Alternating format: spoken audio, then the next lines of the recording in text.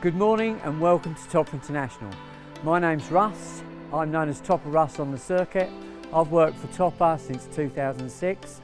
We've got some great news to tell you about today. We're going to talk about the new improved Topper. First thing you'll notice is the amazing racing grey colour. Secondly, we've got three pots for food and liquid. We need liquid uh, out in the water. We've also done adjustable toe straps this time. So easy to adjust on the water. And then if you look close down, you'll be able to see where the baler is. We've moved the baler from the starboard side into the centre.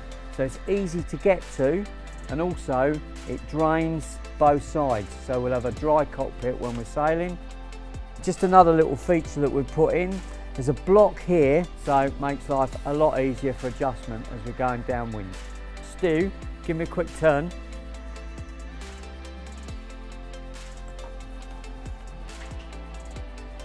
Right, first impressions, look at the shine on the hull. That's lovely, I think. That looks really, really good. So looking at the three pieces that we've got, mast post is a different fitting altogether. That's going to make it easier to get out because if there is any problems, we've just got the black bush to change. Coming back, you'll see that we haven't got a big hull plate. We've just got this little protective plate at the back, easier to change and a lot harder. So this should last longer and sailors, look at this. We've got countersink screws. Everything is flush over the baler. Baler sits up nice. I think that is a big feature.